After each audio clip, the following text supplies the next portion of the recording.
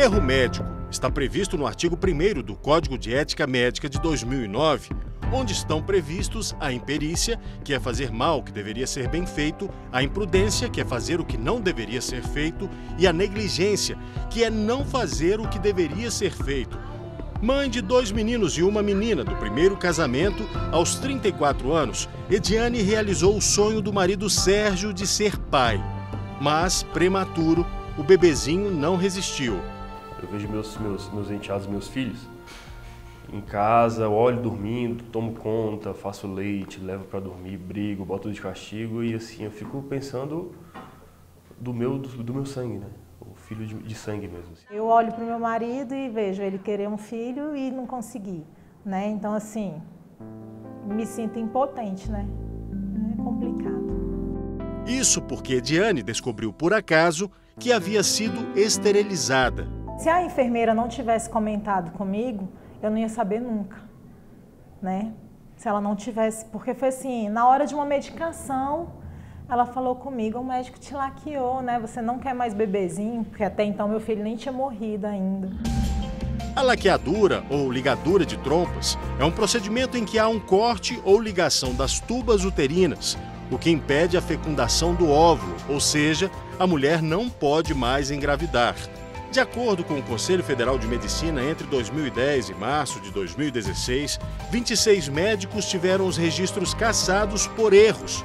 No ranking das especialidades em que mais ocorrem os erros médicos, em primeiro lugar está a ginecologia e obstetrícia, com 242 médicos punidos no mesmo período de mais de seis anos. Porque se aconteceu com a gente, com certeza já aconteceu com mais pessoas, né? Minha esposa ela faz parte de, de vários grupos de WhatsApp, vários grupos de internet. E, cara, chegam pessoas nela chamando para conversar, explicando a situação que aconteceu do mesmo fato. Procurado por Ediane, ela conta que o médico se lembrava dela, mas não de ter feito a laqueadura depois do parto. Eu acredito que tenha sido para a residente aprender. Entendeu? Eu acredito, porque a primeira coisa que ele falou foi que ia ligar para a residente. Então, assim, eu, ela estava ali para aprender, ela está ali estudando. Entendeu? Então, acho que para ele eu era só mais uma. Ele deve ter pensado, ah, ela já tem, já é o quarto filho, ela não quer mais filho. Ele não procurou saber se era, o, se era o meu segundo casamento, se o meu marido tinha filho. Então, assim, ele não procurou saber nada. A esperança do casal agora de ter mais um filho é um tratamento de fertilidade, em que a chance de sucesso é de 20%.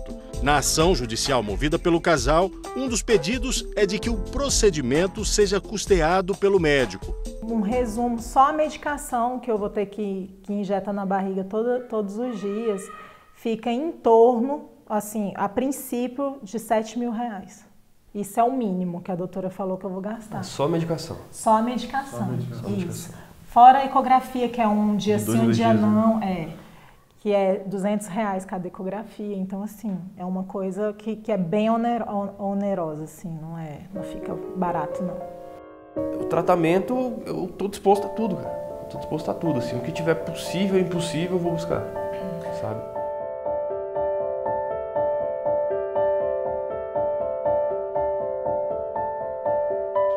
É, Matula, agora eu vim até a casa da Elisângela. Ela também tem uma história triste para contar.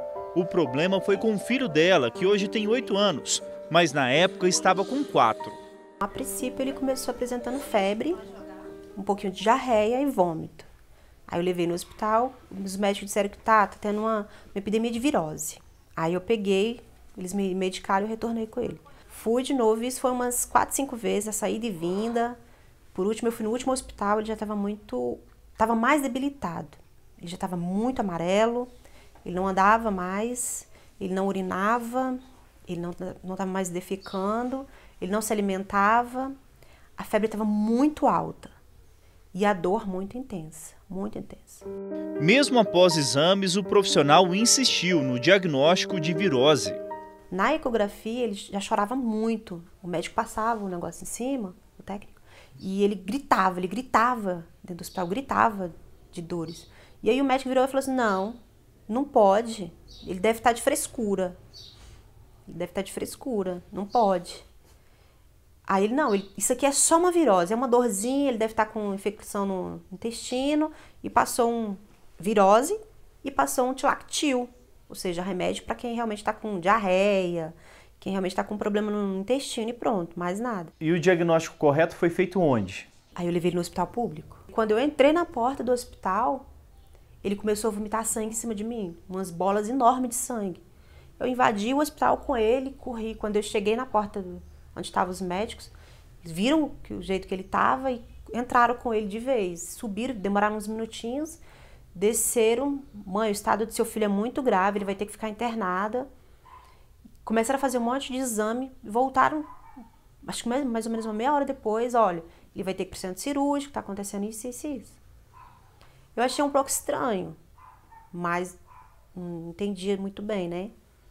Aí depois voltou um outro médico e me disse que ele estava com uma apêndice, a apêndice dele estava suturada e que ele ia ser transferido porque lá não tinha suporte para fazer a cirurgia dele.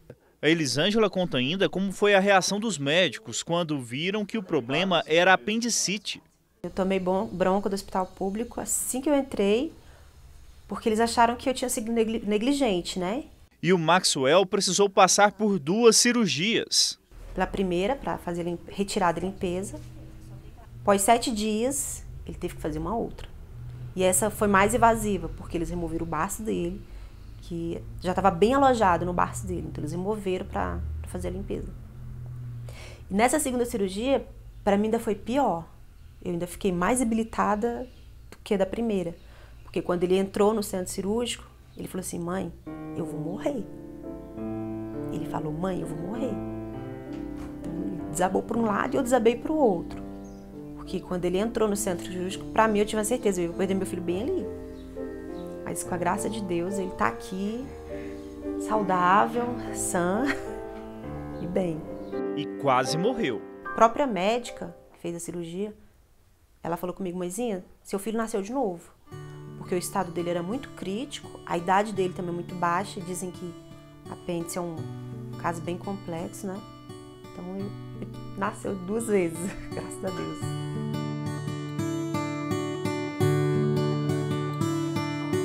E as queixas de pacientes são comuns. Muitos recorrem ao judiciário. A Sociedade Brasileira de Direito Médico e Bioética fez um levantamento para analisar os processos que chegam ao Superior Tribunal de Justiça, terceira instância do Judiciário. O número de recursos envolvendo casos de erro médico entre os anos de 2000 e 2015 no STJ aumentou 1.600%. Só de 2011 para 2012, o crescimento foi de exatos 100%. Para se ter uma ideia do volume, só no primeiro trimestre de 2014 foram julgados 300% mais processos ligados ao tema do que durante todo o ano de 2005, 2006 e 2007. Os dados mostram ainda que o estado do Rio de Janeiro é o campeão em número de recursos que chegam ao Superior Tribunal de Justiça.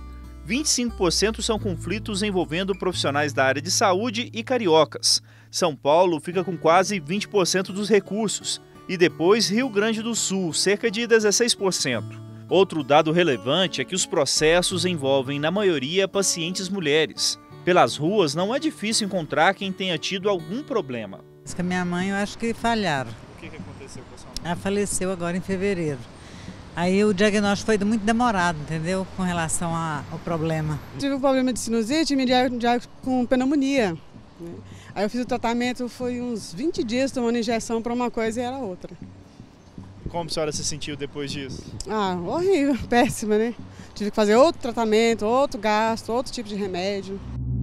E quais são os direitos dos pacientes? Procuramos uma advogada que é especialista na atuação em tribunais superiores. Débora Noleto explica que a responsabilização pode ser criminal e civil quando é comprovado o erro médico. Para que seja caracterizada uma responsabilidade civil por algum erro médico, é necessário que a conduta do médico é, esteja embasada em imprudência, em negligência e em perícia. E para que atinja a esfera criminal as consequências de um ato danoso causados por um médico, é necessário que haja um nexo causal entre a conduta do profissional da medicina e o resultado típico, e também que ele haja com dolo ou culpa. A profissional lembra ainda que também é preciso analisar o contexto do trabalho dos médicos e as condições de serviço.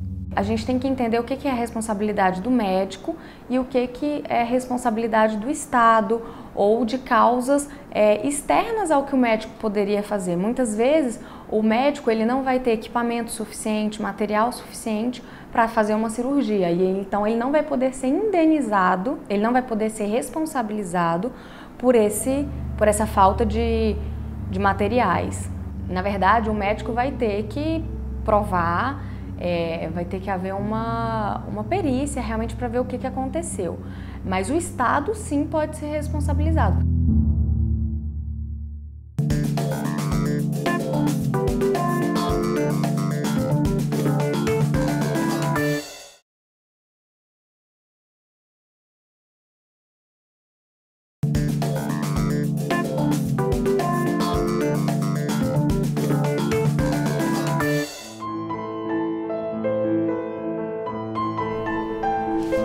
Parecia uma estátua que eu não acreditava que aquilo estava acontecendo.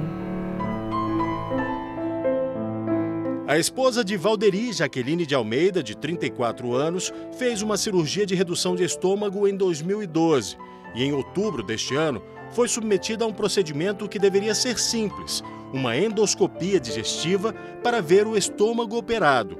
E aí esse procedimento era para verificar a possibilidade de fechar que é uma videoendoscopia com uso de gás. E aí é feito esse, esse procedimento para diminuir novamente o estômago que ela tinha feito na cirurgia bariátrica. Valderi conta que o procedimento foi demorado, que não é comum, e que depois disso a barriga de Jaqueline ficou muito inchada e ela sofreu com fortes dores. Parecia um balão, sabe? A barriga dela. E ela respirava com dificuldade. E eu virei pro doutor na hora e eu quero que ele seja homem para confirmar o que eu estou falando. Doutor, se a minha esposa tiver uma emergência aqui, essa clínica tem estrutura para atendê-la? Pode ficar tranquilo. Pode ficar tranquilo. Sua esposa está em boas mãos e só precisa expelir os gases. Hoje, após o laudo do IML, eu não tenho dúvida de que houve erro médico. O presidente do Sindicato dos Médicos do Distrito Federal evita o termo erro médico prefere se referir ao que chama de mau resultado. Já consolidou o termo de erro médico para mau, mau resultado médico, mas mau resultado médico é sinônimo de erro médico. O erro é o erro grosseiro, a não observância de norma técnica. Você vai fazer uma cirurgia, não faz o pré-operatório, não pede o risco cirúrgico. Né? E aí o paciente é um cardiopata, o paciente é, teria que tomar um, um anticoagulante, por exemplo e não, não foi feito a, a prevenção. Né? Isso é erro médico. A medicina não é uma ciência de, de fins, é uma ciência de meios. Tá? Eu tenho que usar de tudo que eu sei, de toda a minha capacidade técnica em benefício do meu paciente, mas isso não, não quer dizer que o resultado vai ser o melhor, o, o, o não sempre bom. Mas, se o paciente e a família conhecem os riscos, pode ser bem mais simples identificar um eventual problema. O que tem que se fazer é esclarecer o paciente, o termo de, de, de consentimento informado, o esclarecimento ao paciente, que está no próprio Código de Ética. Valderi não recebeu esclarecimentos na clínica Endogastros, que funciona neste centro clínico em Brasília. Segundo ele, lá não existe UTI, nem transporte para transferir o paciente no caso de uma emergência. Só às nove da noite, Jaqueline foi levada para este hospital. Já no hospital, o médico falou sobre a cirurgia que fez. Houve um rompimento no intestino de Jaqueline, segundo ele, pelo gás que injetou para o procedimento lá na clínica. Eu não entendi esse rompimento. Rompeu por, porque o ar. O ar entrou. O intestino ficou tão distendido, estava assim, ó, tão distendida a barriga assim, que aquele ponto, naquele ponto, não aguentou e para aliviar. Depois da cirurgia, o médico se desculpou pelo que aconteceu. Desculpe, meu cara. Não queria que isso fosse assim, não. Se já tivesse hoje é com, com você sua filha. Eu vou fazer o possível, mas assim, eu não posso fazer mais do que eu tenho conhecimento. Eu vou me esforçar ao máximo. Estou arrasado. Mas Jaqueline acabou morrendo. O laudo do IML mostrou a causa houve, na verdade, um erro que foi mostrado no, no, no laudo do IML que houve um, uma perfuração do fígado. Em momento algum o médico tocou nesse assunto com a gente. Valderi quer entender por que a demora no atendimento efetivo da esposa. E a gente veio saber, no pré-laudo do IML, que ela tinha tido fígado perfurado. E ela perdeu por volta de 2 litros de sangue para dentro da própria barriga. Um inquérito foi aberto para investigar se houve falha na estrutura da clínica e erro médico por parte do profissional. Não é a primeira vez que o médico Lucas Seixas é investigado. Em 19 de março de 2006, após ser submetida a uma cirurgia bariátrica pelo médico Lucas Seixas Doca Júnior, a professora de direito Fernanda Werling morreu. O médico também responde pela morte da psicóloga Maria Cristina Alves da Silva, que faleceu em 18 de fevereiro de 2008, também após ser operada por ele. Valderi conta o drama dele para evitar que tragédias assim continuem a acontecer. A nossa intenção é levar para as pessoas que, que tomem cuidado aos lugares que vocês vão e tomem cuidado com os profissionais que vocês são atendidos. Hoje a gente não se preocupa muito com isso. A clínica Endogastros não retornou nossas ligações. Até o fechamento deste programa, o médico Lucas Seixas também não atendeu às nossas repetidas ligações para dar a versão dele da história. Corregedor do Conselho Federal de Medicina, responsável por receber denúncias de erro médico, José Fernando Maia Vinagre explica como funciona o registro profissional de um médico. O médico é registrado no Conselho do DF e ele vai atuar em Goiás. Ele precisa ter um registro em Goiás também. Ele não pode ter apenas o registro no DF e atuar em qualquer estado outro da federação. Ele precisa ter o registro no DF e se ele atuar em Goiás, outro registro em Goiás, se ele atuar em Minas Gerais, outro registro em Minas. Quando o médico é caçado, é caçado definitivamente. Ele não pode ser caçado no Distrito Federal e atuar em Goiás. O Conselho Federal de Medicina é uma instância apenas de recursos. As denúncias que chegam ao, ao, aos conselhos, elas chegam no Conselho Regional de Medicina. Depois que tramita o processo ou a sindicância no Conselho Regional, se uma das partes não está é, satisfeita com o, o resultado dessa, desse julgamento, ela pode recorrer para o Conselho Federal, tanto o médico quanto a pessoa que denunciou. No CFM, o corregedor nomeia um dos 42 conselheiros para ser o sindicante que vai apurar determinada denúncia. É essencial, é, quando chega uma denúncia que envolve erro médico, ter o prontuário do paciente. O prontuário é um, um elemento que vai dar muita informação a respeito daquele, do, do, da, do caso que está sendo analisado ele vai solicitar esse prontuário ao, ao hospital ou ao consultório do médico, aonde for, tá? para que ele seja analisado e, e depois dessa fase o, ele vai elaborar um relatório a respeito do que ele apurou. Tá? E esse relatório é julgado pelo plenário do conselho. Não é julgado monocraticamente nem pelo sindicante, nem pelo corregedor é, é julgado pelo colegiado.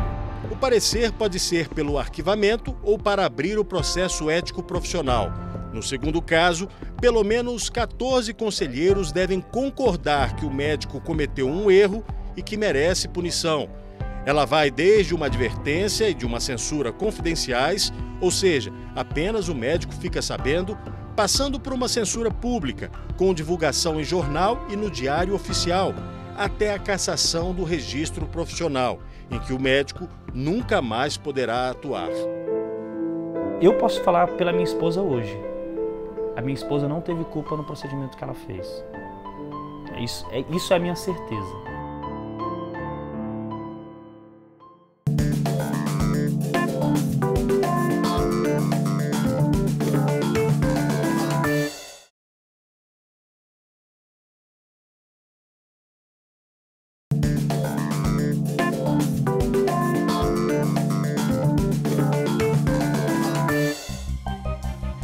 Como resolver as questões que envolvem erro médico.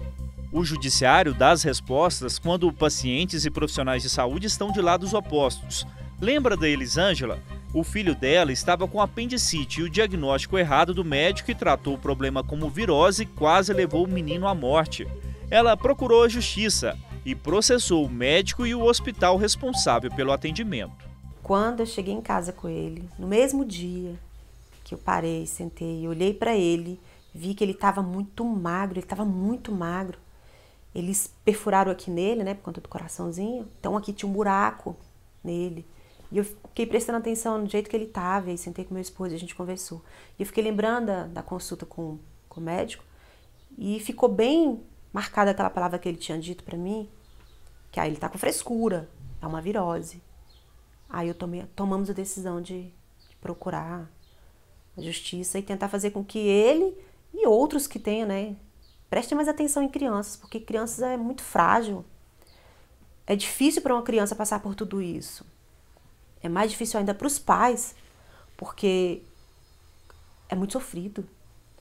E a gente, não sei se foi uma ocasião muito complicada, porque quando ele fez a cirurgia, o hospital não estava com o remédio suficiente. Então a gente teve que comprar remédio por fora.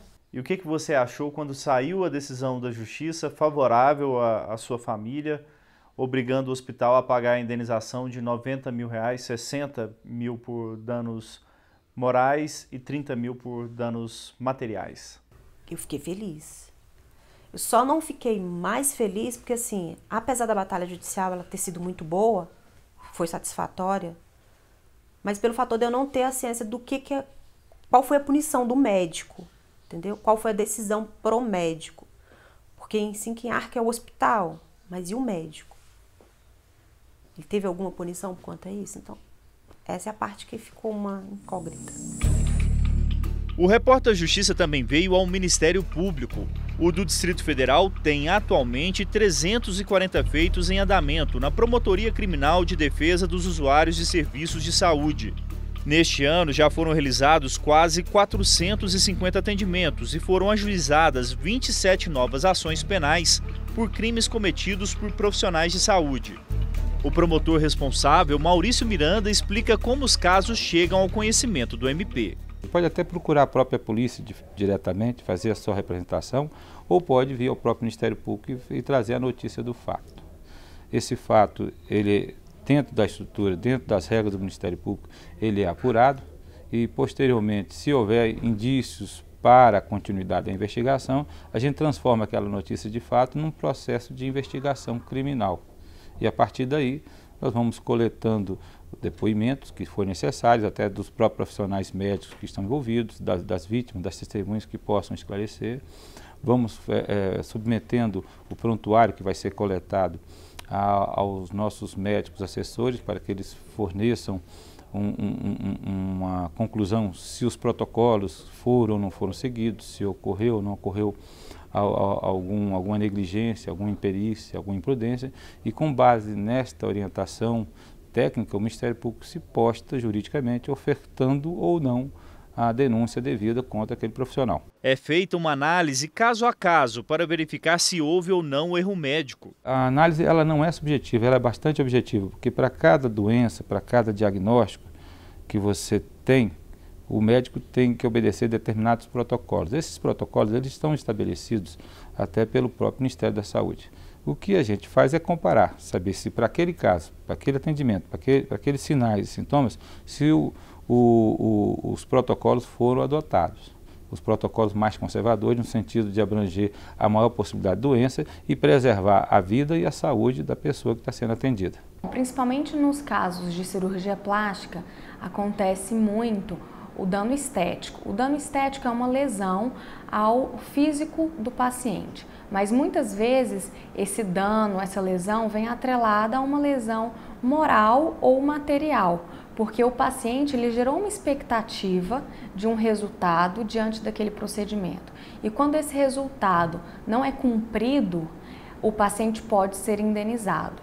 Existem tipos de obrigações. A obrigação meio é a obrigação em que o, o médico ele não promete um resultado, ele cumpre com todas as expectativas, ele é, ele se aprimora, ele estuda o caso, ele entrega um, o que ele pode fazer, mas ele não está vinculado a um resultado específico. Na obrigação de resultado, que acontece muito nos casos de cirurgia plástica, o médico ele está vinculado a um resultado muito específico, porque a pessoa contratou ele, o paciente fez um contrato por uma prótese de mama é, ou uma cirurgia de lipoaspiração, então ele quer um resultado, então o médico está sim é, vinculado a esse resultado. Ocorre muito é, falta de manuseio, imperícia, na utilização não só dos produtos dermatológicos, como também do, do, das máquinas, que geralmente envolvem laser.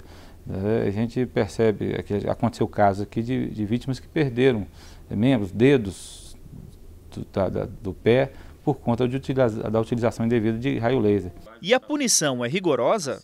Se o erro do médico ficar na área da negligência, da imprudência e da imperícia, isso aí, com toda certeza, é, vai ser um crime é, culposo. A pena é muito pequena. A pena é muito pequena. Mesmo para um caso de homicídio doloso, é, dificilmente você vai ter uma pena de reclusão. Essas penas são, são estabelecidas nos moldes que a, ocorre uma, uma substituição da pena privativa por uma pena restritiva de direitos.